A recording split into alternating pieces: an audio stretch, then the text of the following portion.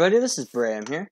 Today, I have a player offline system, so basically how you remove players offline from your scoreboard. So, um, right there on the right where it says money, you, some people, or most times when you have a scoreboard, or all the time, when somebody leaves the game, it's going to show player offline. So yeah, I'm going to show you how to fix that. But simply for you guys who don't know, um, if the system was off, and I have my other account joined, Okay, he's joined. So now you remove you add him to the scoreboard, but if this system was off, right? And I quit the game obviously, it's going to show player offline. And when you have a huge server with so many members, you don't want that. So the way you fix this is um let, let, let me get him back in the game out back. Okay. So, what it's basically going to do is I'm going to have him leave again just to show you that this system actually works. I put the redstone dust back, so I leave, and he's off the scoreboard. So, it's going to say player offline for a second, but that's just a glitch, you know. And, yeah, it, it works really good. This is, like, standard, guys. Like, I don't know the first original creator. However, the person who made it literally made this system standard. So, yeah, this is amazing. So what we're going to practically do here is the way this works is this one is repeating unconditional always active at zero ticks is testing for all the players in the world. And just because it's testing for all the players, it means that this gives out a different signal for every player that's there. So if there's two players, it will send a signal strength of two. If it's one, it's one. If it's three, three signal strength. So basically, whenever a player leaves or joins the game, it's gonna update this um, redstone dust, which fires the observer, which will fire this chain off.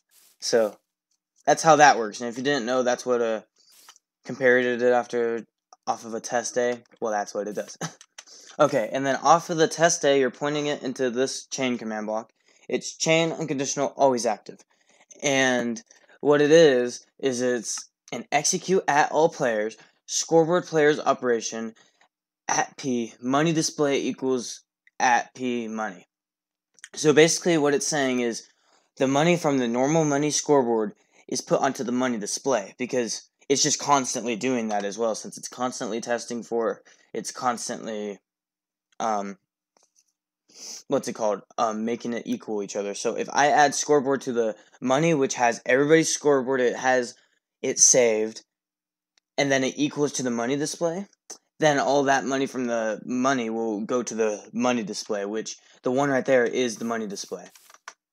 And what you're going to want to do now is you're going to do scoreboard objectives add um,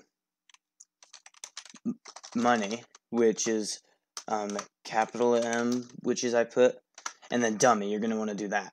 So it's already added, so I'm not going to do anything. And then this is, you don't add the money display yet because I'll show you what this does. The next thing you're going to want to do is you're going to want to make this where it goes um, comparator, redstone dust, and then an observer with the redstone face there, or the face facing the redstone, the redstone output coming onto the uncon or the impulse command. So it's impulse unconditional needs redstone.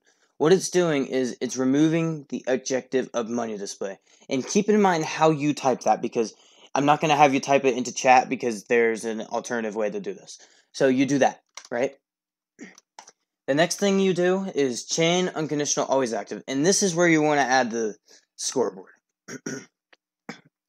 it's scoreboard objectives add money display dummy and then your display name. So right now it's showing money display, but in the dummy you're going to want to do money, which means it's displaying it as money. That's that's how it is. So it's basically doing that, you know.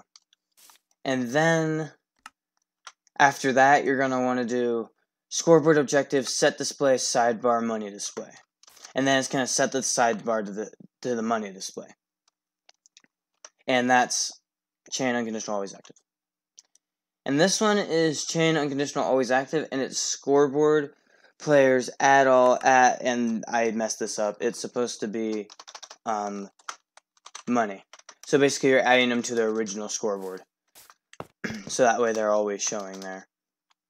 But the way this works is, and then once you have that set up, nothing should show, and then what you do is you do this, and then it would show. So normally, yeah, it would just show after that. And somebody just messaged me. Ooh, okay. Um, that that's literally my system. I, I wanted, wanted to make a tutorial on it because people were asking me, and I because I, I didn't want to like legit show them, so I was like, okay, I'll just make a tutorial on it. And plus, it adds to the command block playlist. so yeah, there it is, and I know people are struggling with this, so yes, here, this player offline system. So yeah, I hope you guys enjoyed this video. If you did, please leave a like, and if you really loved it, please subscribe and hit that notification bell to get notified whenever I upload a video. And yeah, I hope you guys enjoyed this video. Please like and subscribe, and this has been BrayM, and I'm out.